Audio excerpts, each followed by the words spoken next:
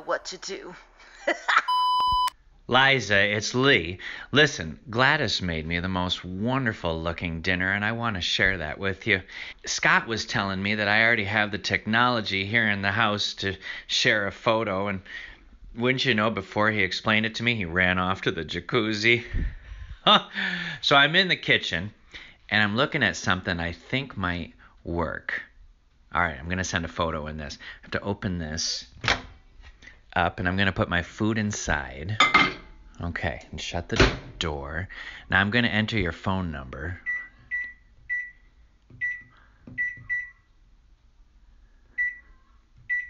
And I guess I push start, huh?